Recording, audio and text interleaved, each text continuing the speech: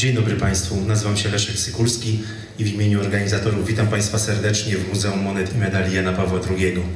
Dziś gościem naszego muzeum jest Pan Remigiusz Wodziński.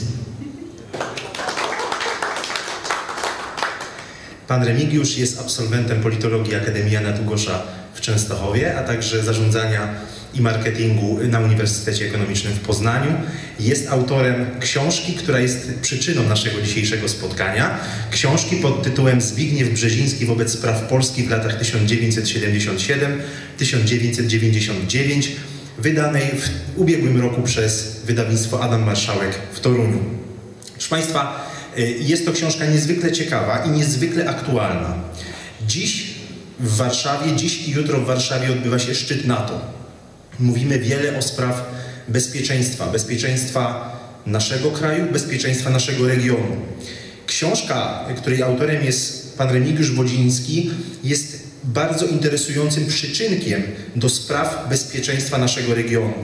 Chciałbym, abyśmy dzisiaj szerzej porozmawiali nie tylko na temat związków Zbigniewa Brzezińskiego z Polską, z Europą Środkowo-Wschodnią, ale także szerzej o, o bezpieczeństwie naszego regionu i niech będzie to pewnym przyczynkiem i bardzo aktualnym tematem.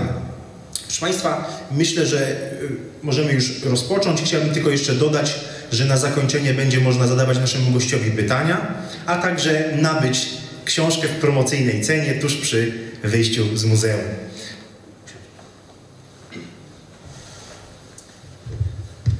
Rozpoczynając, chciałbym Pana zapytać, jaka była geneza? Skąd wziął się w ogóle pomysł, żeby napisać książkę, której głównym bohaterem będzie e, no, wybitna postać, wybitny analityk, intelektualista, e, polsko-amerykański politolog Zbigniew Brzeziński. Skąd pomysł? E, dziękuję za te słowa wprowadzenia. Bardzo miłe. Chciałbym kilka słów właśnie o tym pomyśle który zrodził się w czasie moich studiów na Akademii Jana Długosza tu w Częstochowie, studiów politologicznych. Ze zdziwieniem stwierdziłem w czasie właśnie rozmów, wykładów o geopolityce, o sprawach Polski, o odzyskaniu niepodległości przez Polskę w 1989 roku, że o Zbigniewie Brzezińskim mówi się bardzo niewiele albo praktycznie nic, albo jakieś takie nie do końca pewne, sprawdzone informacje. Również wśród znajomych, jak zacząłem wypytywać, okazało się, że mało kto słyszał to nazwisko. Jeżeli słyszał, no to niekoniecznie wiązał je z jakimiś naprawdę e, konkretnymi działaniami e, tego profesora na rzecz Polski. A kiedy zacząłem zagłębiać się e, w jego biografię, w to wszystko, co napisał w różnych swoich publikacjach, to stwierdziłem, że naprawdę to jest człowiek niesamowity. Można by obdzielić tym, co zrobił, już nie mówię o tym, co, co napisał, ale tym, co zrobił, wiele życiorysów. Ja bym go nazwał bez e, cienia wahania bohaterem e, Polski e, i wielu innych krajów, bo też działał na rzecz wielu innych krajów niż Polska, ale przede wszystkim Polski. E, zaciekawiło mnie również to, że on jako profesor był przede wszystkim naukowcem, e, sowietologiem, geopolitykiem, wykładowcą na Harvardzie i później na Columbia University w Stanach Zjednoczonych, e, że jako wykładowca nie zatrzymał się tylko na teorii, na tym, co odkrył, ale postanowił to, co odkrył, zastosować, wcielić w czyn, w życie tak żeby uzyskać pożądany przez siebie e, efekt. To, co wymyślił, chciał to zobaczyć w praktyce i sam to realizować. Także to jest rzecz taka unikalna, unikalne połączenie profesora akademickiego i polityka. Zazwyczaj to są rzeczy oddzielne, albo mamy profesorów, albo mamy polityków.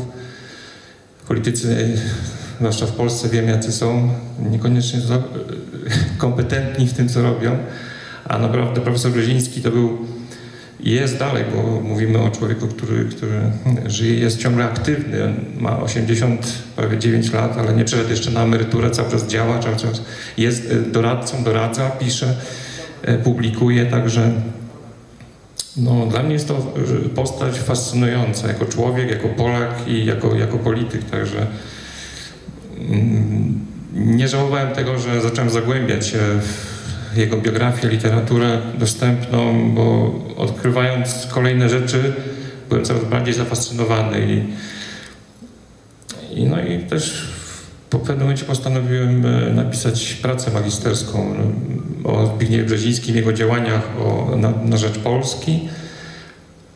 Zaświtała mi pewna teza, e, teza badawcza, którą umieściłem na, na wstępie mojej książki, którą próbowałem udowodnić i okazało się później, jak to Państwu przedstawię krok po kroku, że to jest teza prawdziwa i sam profesor Brzeziński również zgodził się, że rzeczywiście mam, mam rację w tym, co pisałem, także... Książka jest niezwykle ciekawa, proszę Państwa, napisana bardzo y, lekkim piórem. E, nie jest zbyt obszerna, a z drugiej strony jest nasączona bardzo y, wieloma interesującymi informacjami. W relacjach, między, w relacjach Zbigniewa Brzezińskiego y, wobec Polski możemy wyróżnić kilka okresów. Pierwszym okresem na pewno jest okres jego młodości tutaj w Polsce.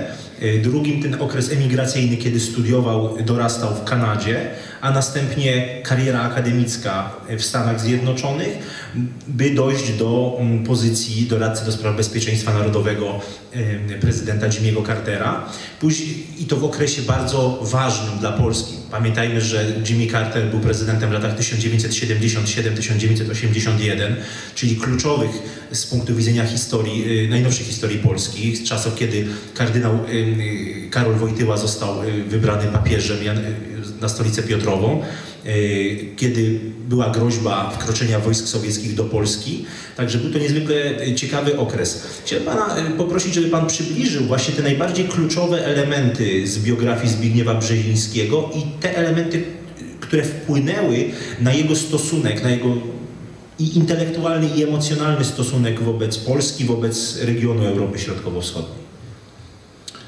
No właśnie, może kilka słów biograficznych, bo nawet myślę, że nie wszyscy wiedzą, że Zbigniew Brzeziński urodził się w Warszawie w 1928 roku, czyli w czasach II Rzeczypospolitej, kiedy Polska po 128 latach niewoli odzyskała swój państwowy byt. Staliśmy się niepodległym, naprawdę suwerennym państwem. I on urodził się w tym właśnie wolnym, suwerennym kraju. Od małego, można powiedzieć, odczuwał ten klimat, którego no, my nie znamy, urodzeni w, w innym czasie, w, w III Rzeczpospolitej, czy niektórzy w PRL-u jeszcze. Um, urodził się w rodzinie e, dyplomaty, czyli już od razu na starcie miał takie, można powiedzieć, przygotowanie, zaplecze E, później odnośnie tego wszystkiego, czym się zajmował, jego ojciec Tadeusz Brzeziński był, reprezentował Polskę jako dyplomata na placówkach najpierw we Francji, później w hitlerowskich Niemczech po 1933 roku i zabrał wtedy całą rodzinę i w tym małego Zbigniewa Brzezińskiego na placówkę do Niemiec. Także można powiedzieć, no mały chłopiec, ale mógł już gdzieś tam odczuwać te ten, ten, atmosferę tego totalitaryzmu e, faszystowskiego. E, później jego ojciec wyruszył na placówkę do stalinowskiego Charkowa, do ukraińskiej części Związku Sowieckiego. Nie zabrał tym, tymczasem, e, tym razem rodziny ze sobą, ale za każdym razem jak przyjeżdżał, opowiadał o tym wszystkim, o tej atmosferze, którą wyczuwał, bo to proszę sobie wyobrazić, lata 30., czyli te najgorsze lata, lata stalinowskie, czystki stalinowskie. Opowiadał e, ojciec Tadeusza, e, Tadeusz, ojciec Zbigniewa opowiadał synom i małemu Zbigniewowi o, tej atmosferze, o stalinizmie, o tych ludziach, których znał i nagle znikali e, bez śladu, bez słowa, gdzieś tam w nocy zabierani przez NKWD. Wtedy jeszcze czeka, nie, później NKWD chyba, tak? W każdym razie te rzeczy od małego nasiąkały e, charakter, duszę, umysł Zbigniewa. Z jednej strony totalitaryzm e, faszystowski, którego gdzieś tam doświadczał jako mały chłopiec i z drugiej strony e, żywe takie opowieści swojego ojca o stalinizmie, takiej w najczystszej postaci. Później te rzeczy będą tematem jego pracy doktorskiej o totalitaryzmie, którą, którą napisał na Harvardzie porównywał totalitaryzm stalinowski i niemiecki, mówił, że to jest praktycznie to, to samo. Nie ma, nie, ma, nie ma różnicy między nimi. Zresztą, jak wiemy z historii, Związek Radziecki i e, Stalinowski Związek Radziecki i hitlerowskie Niemcy podpisały pakt, także w 1939 roku oba te totalitaryzmy najechały Polskę i, i rozdzieliły między sobą nasz kraj na pół, czwarty rozbiór Polski. E, także te rzeczy od małego kształtowały e, jednocześnie świeża Pol odzyskana przez Polskę niepodległość w 18 roku, zaplecze dyplomatyczne swojego ojca, który na pewno opowiadał na żywo wszystkie te rzeczy, które doświadczał. Totalitaryzmy niemiecki, faszystowski i stalinowski. E, gdzieś tam to wszystko kształtowało zainteresowania Brzezińskiego od małego. Interesował się właśnie historią Polski, historią Europy. W 1938 roku rodzina Brzezińskich wyjeżdża na placówkę dyplomatyczną do Kanady. No i tam właśnie w Kanadzie zostaje ich wybuch II wojny światowej. W momencie, kiedy Polska utraciła znowu właśnie swoją niepodległość, Tadeusz Brzeziński, ojciec Zbigniewa, reprezentuje w tym momencie polski rząd na uchodźstwie w Londynie przez cały okres wojny. Zbigniew Brzeziński był tak przejęty napaścią, rozgrabieniem Polski znowu na, na, na pół, że jak sam wspomina, prowadzi dziennik. Każdego dnia wojny przez całe pięć lat, codziennie pisze, zapisuje swoje wrażenia, swoje odczucia. To też pokazuje jego, jego taką żarliwość o, tym, o to, co się dzieje w, z jego ojczyzną, z jego krajem. Był wychowany w naprawdę takim patriotycznym duchu. Jego ojciec, to nie mówiłem jeszcze, był też uczestnikiem wojny polsko-bolszewickiej w 20 roku. Także na pewno ten, ten patriotyzm był od małego gdzieś tam kształtowany w jego, w jego serce, w jego umysł. Kończy się wojna, oczywiście wiemy, co następuje później. Czasy PRL-u. Jego ojciec, jako ten, który był związany z rządem londyńskim, nie ma już możliwości powrotu do Polski i jego rodzina musi zostać przymusowo w tym momencie na emigracji. Co młody Brzeziński opisał, że bardzo, bardzo go to bolało, że nie może wrócić do, do Polski, że za Polską tęsknił w tym momencie bardzo. Żałował też, że był za mały, żeby wstąpić do, do armii polskiej na zachodzie. Jego brat wstąpił, a on, on niestety nie miał odpowiedniego wieku. Kiedy ojciec, ojciec Tadeusz, ojciec Zbigniewa, ojciec Tadeusz zorganizował, rekrutował wśród Polonii kanadyjskiej żołnierzy do armii polskiej na zachodzie, no niestety Zbigniew nie mógł się do tej armii załapać. To też gdzieś na przykład ten moment właśnie, on chciał coś robić, chciał być już jako nastolatek, czynnie jakoś, jakoś wziąć coś w swoje ręce, żeby żeby tą Polskę jakoś ratować. Nie było w tym momencie mu to dane. E, dlatego postanowił rozwijać swoje zainteresowania w tym momencie jeszcze młodego człowieka i po, po ukończeniu szkoły podstawowej, później średniej studiował w Kanadzie na uniwersytecie i jego pasją od początku było właśnie historia, politologia, sprawy dyplomatyczne, sprawy Rosji, sprawy Polski, sprawy Europy Środkowej, geopolityka. Jest takie jedno ciekawe zdarzenie z jego właśnie nastoletnich lat, które też pokazuje, jak, jak, jak on żarliwie myślał o Polsce i, i próbował nawet w tym, mając 14-15 lat, coś, coś dla Polski zrobić, kiedy to już miał informację od swojego ojca, kiedy po ustaleniach konferencji w Teheranie, kiedy już było wiadomo, że kresy, przedwojenne polskie kresy zostają, zostaną utracone, że to już nigdy nie, nie wróci do Polski, że gdzieś tam już ta kwestia jest, jest załatwiona zakulisowo przez mocarstwa, przez Stalina, który oczywiście nie, nie, nie wyrażał zgody, żeby te ziemie wróciły do Polski.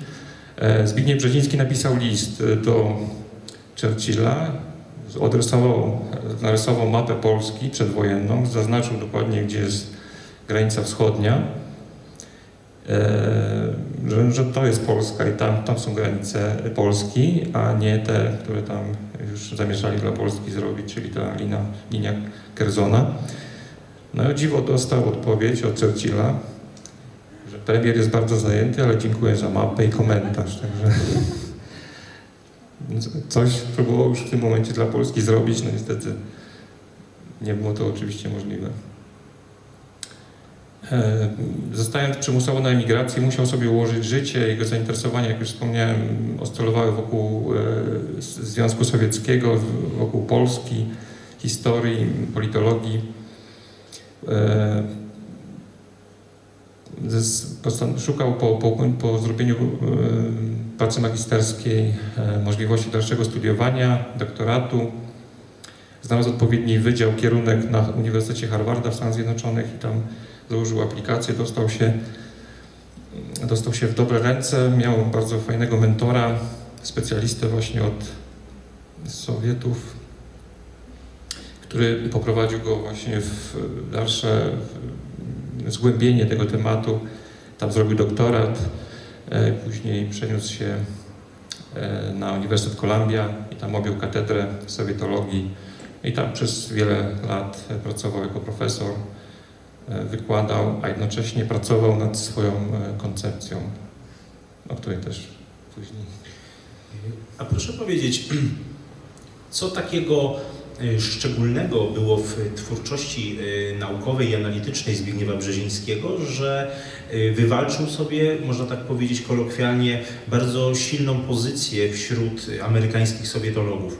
Pamiętajmy, że na Uniwersytecie Harvarda spotkał się z takimi intelektualistami jak Henry Kissinger czy Samuel Huntington, mm, które, znaczy jaki kierunek myślenia tak y, wywindował y, postać Brzezińskiego, jego pozycję, y, że później otrzymał propozycję bycia doradcą Jimmy'ego Cartera?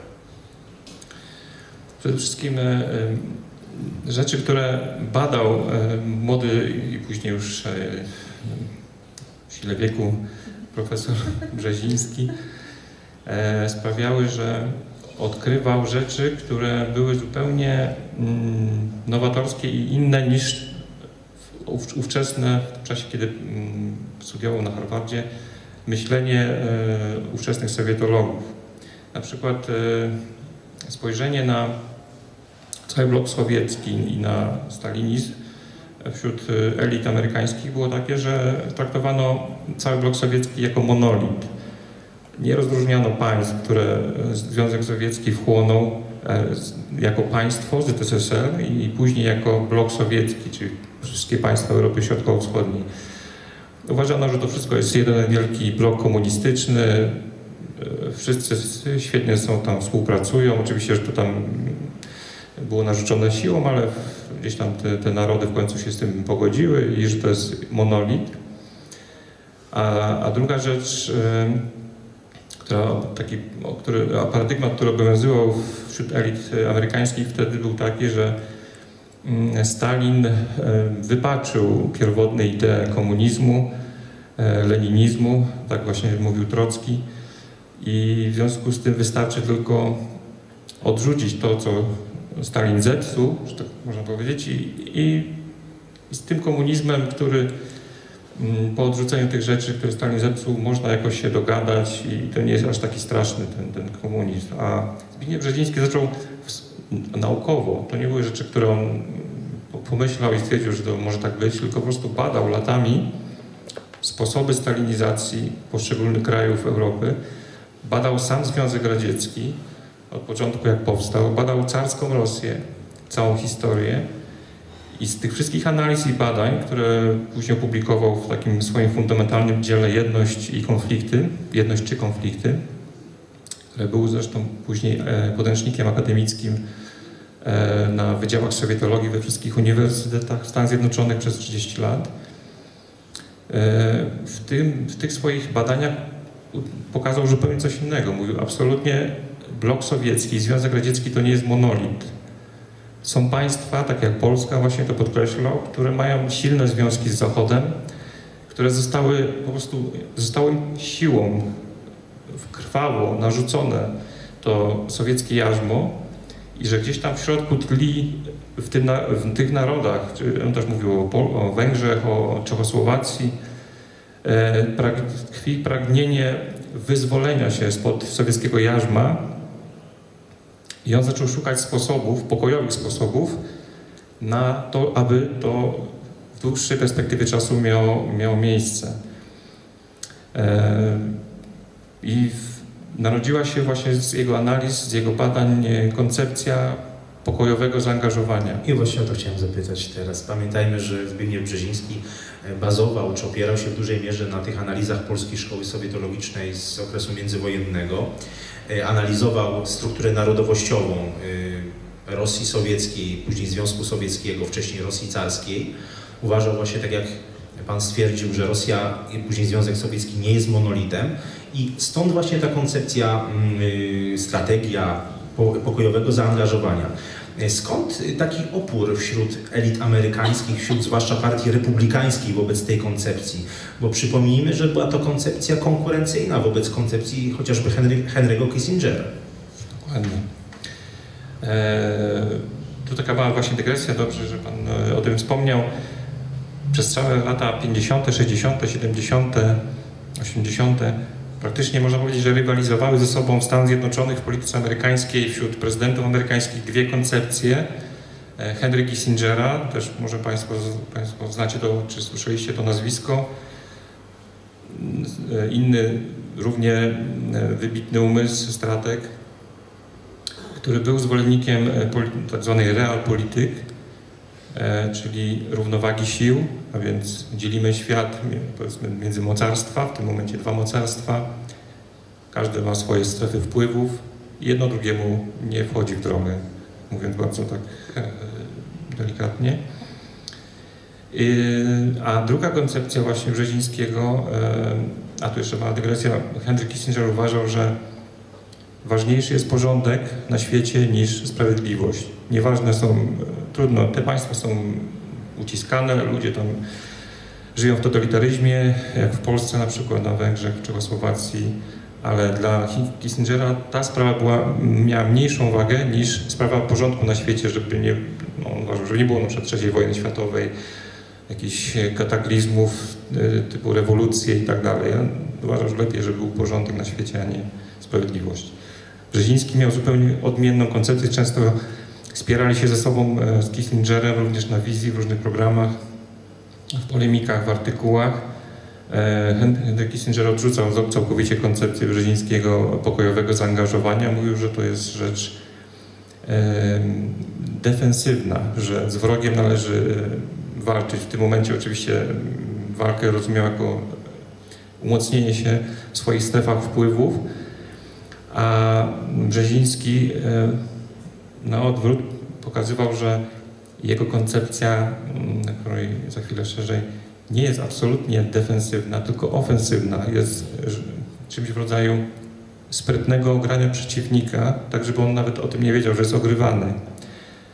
E, Brzeziński, który znał ze swojego osobistego doświadczenia, czym jest e, stalinizm, czym jest Związek Sowiecki, mówił, że koncepcja Kissingera dzielimy świat na strefy wpływów i nie mieszamy się ze sobą, daje tylko e, Związkowi Radzieckiemu do ręki siłę, aby ogrywać w ten sposób Zachód i rozszerzać swoją strefę wpływów. I właśnie tak robił Związek Radziecki.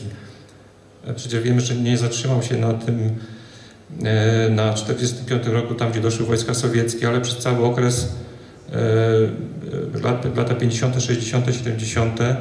cały czas e, widzimy wojska sowieckie w Korei, e, w Wietnamie, e, gdzieś na, Kubie, w Afganistanie, także w Afryce, w różnych państwach. Także cały czas Związek Radziecki mówił z jednej strony mamy swoje strefy wpływów, ale cały czas je rozszerzamy. I Zbigniew Brzeziński próbował pokazywać, hej, zobaczcie, to oni nas ogrywają, oni biorą nas za naiwnych głupców. Tak Stalin zresztą myślał o ludziach z Zachodu, o Churchillu, o Roosevelcie, że rozgrywa ich jak e, takich małych żołnierzyków, tak jak ja chcę. E, no i rzeczywiście tak było przez, przez pierwsze lata. A Brzeziński mówił, ja daję wam koncepcję, która z pozoru tylko wygląda na taką e, łagodną, ale tak naprawdę jest jak kropla, która drąży skałę w dłuższej perspektywie czasu w sposób nawet niezauważany dla Sowietów zostanie to państwo i ten blok rozerwane od środka. No i właśnie tak się stało. Później, jak jeszcze będziemy o tym mówić, narzędzia, które proponował i które były stosowane, właśnie tak, tak z biegiem czasu spowodowały taki właśnie efekt. Gdyby zwyciężyła koncepcja Kissingera, mielibyśmy być może nadal zimną wojnę, strefy wpływów.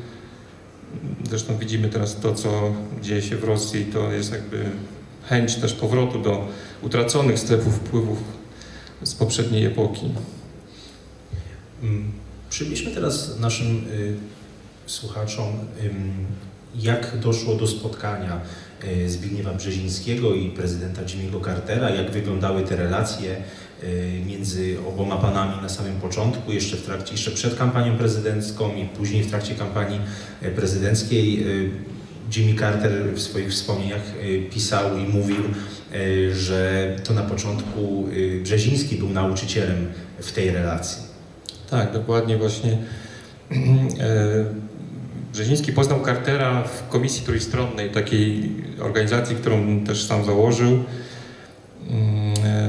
Zaprosił, zapraszane były do tej organizacji różne rokujące, ciekawe postacie ze świata polityki i gdzieś tam zauważono działania Jimmy Cartera, wtedy jeszcze kongresmena, zdaje się, tak, czy kongresmena na południu, który bardzo angażował się w sprawy ludności kolorowej, prawa kobiet i Brzeziński zauważył jego, jego działania w tym zakresie, zaprosił go do tej komisji trójstronnej i przez pewien czas, tak jak właśnie wspomniał Pan,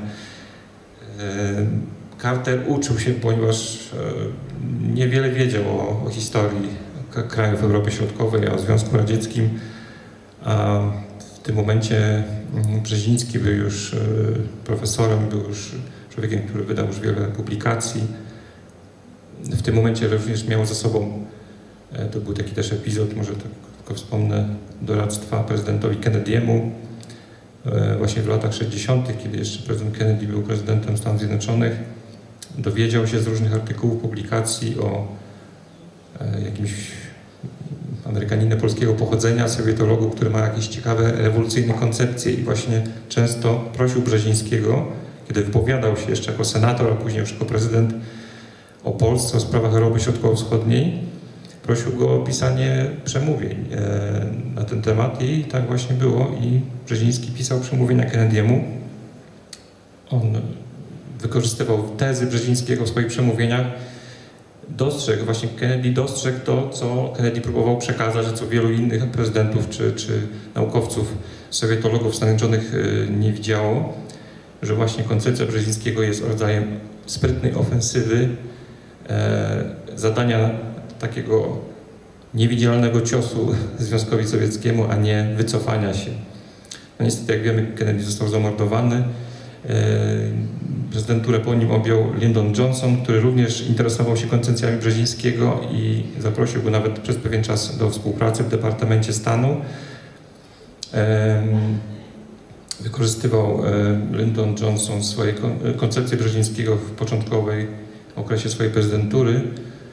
Jednakże później z powodu wojny w Wietnamie, która przybrała na sile w czasie właśnie prezydentury Johnsona i zaangażowania między innymi no, no, siłą rzeczy za Związkiem Sowieckim państw Europy Środkowej, w tym Polski, e, po stronie Wietkongu. E, no, niestety prezydent Johnson stwierdził, że nie będzie dalej szedł koncepcją Brzezińskiego, która miała na celu pomaganie przed Polsce. On nie, wiedział, że utracił może nie wiem, publicznie zaufanie czy głosy na kolejną kadencję. E, natomiast Jimmy Carter, poznany przez Brzezińskiego w komisji trójstronnej, jak sam właśnie wspomina, był zafascynowany Brzezińskim, jego wiedzą, tym, tym jaki był w tej sprawie naprawdę przekonujący, elokwentny i przyjął wszystkie tezy Brzezińskiego odnośnie pokojowego zaangażowania, odnośnie mm, jego punkt widzenia na to, jak, jak wygląda sprawa, jak naprawdę wygląda sprawa zniewolonej Europy, państw, e, w tym Polski. Jest taka ciekawa rzecz z kampanii prezydenckiej, e, zwycięskiej kampanii prezydenckiej Jimmy'ego Cartera, Rywalizował wtedy z Henrym Fordem, właśnie którego doradcą był i prawą ręką Henry Kissinger. I Henry Ford, to była ostatnia debata telewizyjna przed e, głosowaniem na prezydenta, powiedział w debacie telewizyjnej z pełnym przekonaniem tego, co mówi, że on nie uważa absolutnie, aby obywatele Polski, Węgier, Czechosłowacji, Rumunii, czy wszystkich tych państw Europy Środkowo-Wschodniej uważali się za zniewolonych przez Związek Radziecki. Że jest przekonany, że te państwa są całkowicie wolne i niezależne od Związku Radzieckiego, a społeczeństwa w tych krajach są również całkowicie wolne. Także nawet społeczeństwo amerykańskie, jak usłyszało to, takie twierdzenia z ust prezydenta, stwierdziło, że no, jednak on nie będzie prezydentem Stanów Zjednoczonych i wygrał wtedy Carter, który był świetnie przygotowany do tego, co, co mówił przez Brzezińskiego. Właśnie. I to był pierwszy Polak w końcu lat 70., który wywołał bardzo duże zaniepokojenie na Kremlu, a tym drugim był kardynał Karol Wojtyła, wybrany na papieża Jana Pawła II e, w 1978 roku w październiku. E, tych dwóch Polaków rzeczywiście wywołało duże zaniepokojenie wśród elit e, sowieckich i elit Układu Warszawskiego. Nam przybliżyć relacje między Zbigniewem Brzezińskim a Janem Pawłem II, ponieważ jest to bardzo ciekawa historia, bardzo ciekawe są te historie związane z gorącą linią telefoniczną między, między papieżem a doradcą amerykańskiego prezydenta. E, to, jakie relacje ich łączyły prywatnie, to jak, jakie mieli tematy wspólne i być może te anegdoty związane z tym, że to Brzeziński wybrał Jana Pawła II. Właśnie ten, ten moment, o którym wspomniałeś, ta data e, 16 październik 78 rok, 8 czy 9? 8.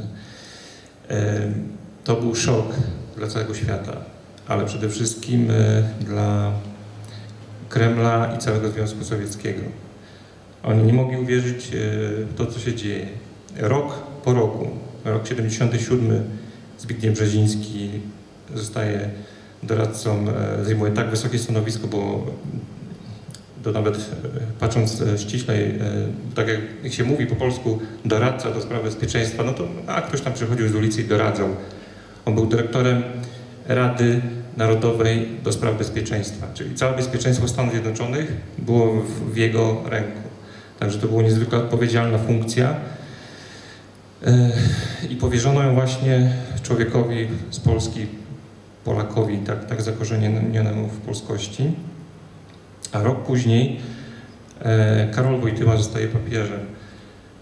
Mm, cały Związek Radziecki i blok wschodni zbladł, wszyscy przywódcy e, dosłownie e, ścisnął ich strach za gardło i szef ówczesnego KGB, Jurij Andropow, zarządził śledztwo jak to było możliwe, że Jan Paweł, e, Karol Wojtyła został wybrany papieżem.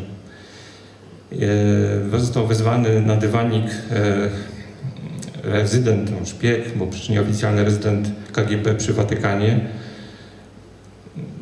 Oczywiście padło pytanie do niego, jak mogłeś tam, nie wiem, kapitanie czy, czy pułkowniku dopuścić do tego, że Karol Wojtyła został papieżem, tak jakby on mógł coś z tym zrobić, żeby nie został każdym razie ten człowiek został zdegradowany. Śledztwo wykazało, że Jan, e, Karol Wojtyła został wybrany na papieża, ponieważ został zawiązany spisek. Na czele spisku stał oczywiście Zbigniew Brzeziński, który wykorzystał wszystkie swoje wpływy, e, formalne, nieformalne, e, kontakty z kardynałami niemieckimi, polskimi, tak aby właśnie Karol Wojtyła został papieżem. Także Jednoznacznie e, na Kremlu stwierdzono, że to Brzeziński wybrał e, Karola Wojtyła na papieża i to jest spiskowiec numer jeden na świecie.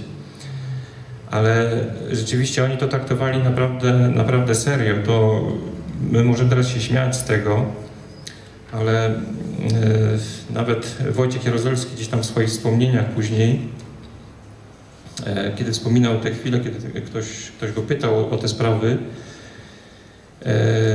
mówił, mówił między innymi coś takiego, e, kiedy Karol Wojtyła został wybrany, wiele osób w Związku Radzieckim, a nawet w Polsce uważało, że Brzeziński się do tego przyczynił dzięki swoim różnym wpływom.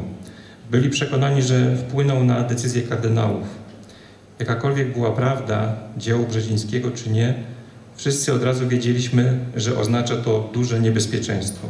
Czyli tak mówił generał Wojciech Jaruzelski, wtedy jeszcze generał, e, że oznacza to duże niebezpieczeństwo. No i proszę Państwa, rzeczywiście jak duże to było niebezpieczeństwo pokazuje fakt, że w maju 1981 roku e, zamachowiec Ali Akcza oddał strzały do Jana Pawła II na placu Świętego Piotra, próbując go zamordować. Na szczęście się to nie udało, ale proszę zauważyć, że oczywiście e, wszystkie ślady prowadziły na Krem. Były zamieszane służby bułgarskie w to, ale nawet, nawet śledczy włoscy, którzy prowadzili pierwszą sprawę Akczy, mówili, że nie ma jednoznacznych dowodów, ale tak na to wszystko wskazuje. Także e, tak groźny był papież, Polak, dla e, całego bloku sowieckiego, że postanowili go po prostu zamordować. E, myślę, że też gdzieś tam może to przemknęło e, ludziom na Kremlu odnośnie Zbigniewa Brzezińskiego, ale jako człowiek E, pracujący w Białym Domu raczej mogłoby to wywołać trzecią wojnę światową, morderstwo na tak wysokim polity, polityku amerykańskim. Także tu postanowili e, działać inaczej. W każdym razie mm, rzeczywiście e, to ta wiedza o tym śledztwie, że zostało przeprowadzone i o jego wynikach, dotarła później do papieża, do Brzezińskiego również.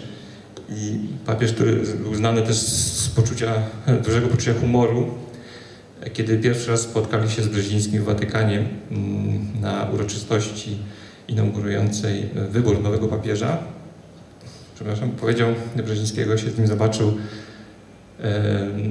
Dziękuję panu, panie profesorze. Rozumiem, że to, że to panu zawdzięczam pracę w stolicy Piotrowej. Bardzo się uśmiali wtedy.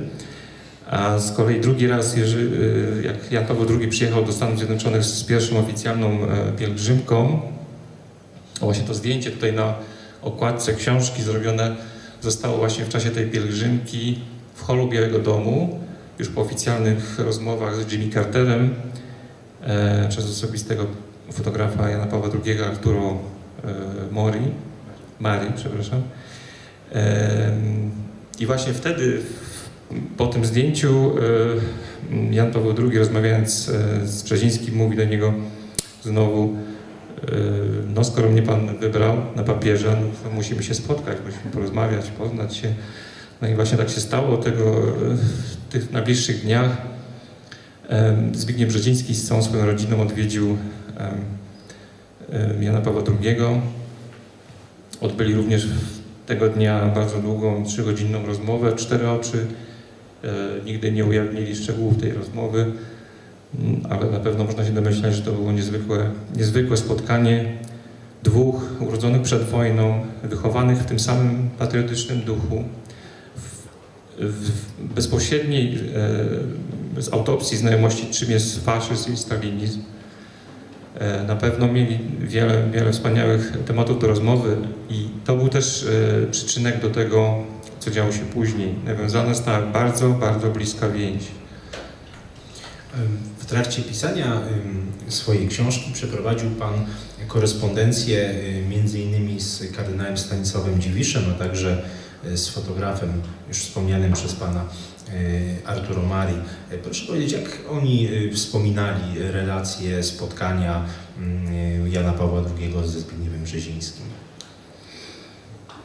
E, Arturo Marii e, był akurat e, na tyle dyskretny, że nie, nie, nie mówił wiele, bo mówił, że jednak pewne rzeczy wciąż obowiązują, jeżeli chodzi o tajemnicę tych rzeczy, których był świadkiem, naprawdę na pewno wielu rzeczy, rzeczy doświadczył.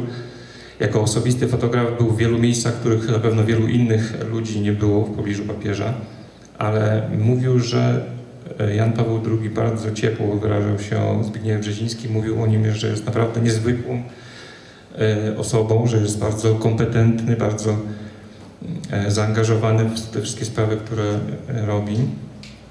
I to naprawdę jest wielki polski patriota. Oczywiście oni rozmawiali po polsku, jak się spotykali, w związku z tym Arturo Marii jako Włoch no, nie rozumiał tego, co, o czym mówią, nawet jak chciał, to nie mógł mówić o tym, ale, ale tak słyszał z ust papieża Jana Pawła II właśnie takie, takie ciepłe słowa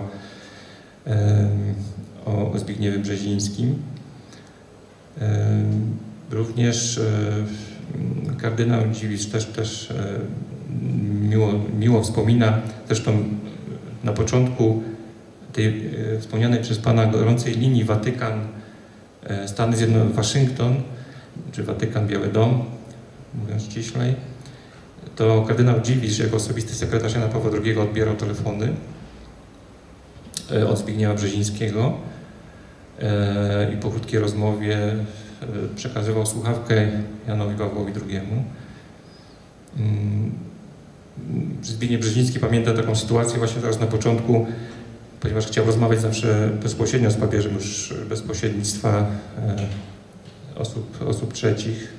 Mówił o wielu różnych tajemnicach państwowych z nim. To zapytał Jana Pawła II po pierwszej takiej roz, rozmowie, czy Jan Paweł II ma jakiś bezpośredni telefon do siebie. No i tak usłyszał w tle, jak właśnie Jan Paweł II mówi do kardynała Dziwisza Ojcze Stanisławie, czy ja mam jakiś telefon bezpośredni, żeby ze mną rozmawiać? Także e, znalazł się jakiś telefon i później już panowie Jan Paweł II i Brzeziński rozmawiali bezpośrednio ze sobą po polsku. To też był naprawdę ewenement papież Jan Polak, tu Biały Dom, mocarstwo światowe i dwie kluczowe postacie rozmawiają po polsku o sprawach Polski. Naprawdę też sam, sam Brzeziński, jak mówił, wspominał też te rozmowy, to mówił, że to była rzecz bez precedensu, naprawdę historyczna, że sam czuł, że jakby jest, tworzy się na żywo historia, że to było coś, coś tak niezwykłego. Zresztą kardynał Dziwisz wspominał, że nigdy w życiu, e, w całej historii papiestwa, papież nigdy bezpośrednio osobiście z nikim przez telefon nie rozmawiał. Zawsze sekretarze rozmawiali i przekazywali rzeczy, e, o, o których mówił rozmówca, a później papież się ustosunkowywał do tych spraw, a tutaj po prostu papież brał słuchawkę i rozmawiał ze Zbigniewem Brzezińskim. Także to było naprawdę też niezwykłe. Rok 1979 to rok pierwszej pielgrzymki Jana Pawła II do ojczyzny. Natomiast kolejne dwa lata to okres wielkiej, wielkich, wielkiego kryzysu politycznego i groźby interwencji w Wojsku Układu Warszawskiego w Polsce. Ale zanim przejdziemy do tego i do roli Zbigniewa Brzezińskiego właśnie w 1980 roku, chciałbym Pana zapytać o związki Brzezińskiego z Radiem Wolna Europa i z Janem Nowakiem Jeziorańskim. Jak Pan ocenia rolę Brzezińskiego w, w życiu emigracji, w rolę intelektualną, wpływ intelektualny na życie emigracji polskiej na Zachodzie i w Polsce?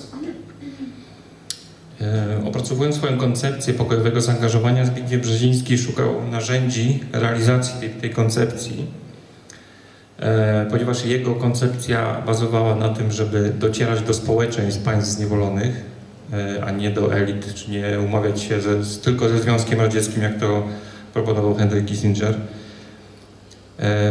Szukał takich narzędzi i naj, pierwszym takim najbardziej, e, najlepszym w jego mniemaniu było właśnie e, rozgłośnia Radia Wolna Europa, e, która docierała do, do społeczeństw w tych, tych krajach zniewolonych. Wiem, że to radio, które było, miało siedzibę w Niemczech, Monachium, było podzielone na sekcje z różnych państw i tam w językach narodowych były przekazywane różne wiadomości, które nie mogły być przekazywane w państwach totalitarnych. Właśnie jedną z cech państw totalitarnych jest jest monopol e, na środki masowego przekazu ze strony rządzących. To oni decydują, co społeczeństwo może słuchać, czego może słuchać, co może się dowiedzieć, a co nie.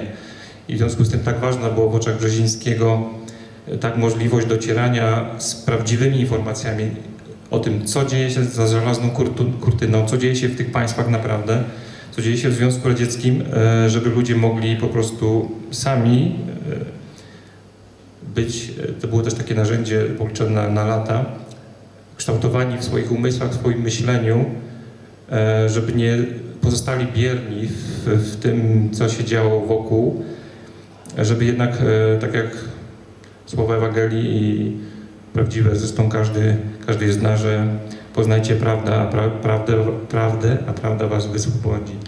Także to, to narzędzie, y, narzędzie przekazywania prawdy, prawdziwych informacji było dla Brzezińskiego ogromnie ważne. Dlatego z własnej inicjatywy właśnie już pod koniec lat 50. pojechał do Monachium, do rozgłośni i po prostu zgłosił się, jeszcze wtedy nie był znaczącym politykiem, był tylko profesorem, wykładowcą, ale już e, miał kilka dzieł opublikowanych i zgłosił się do Jana Nowaka Jezieleckiego, powiedział, że chce współpracować.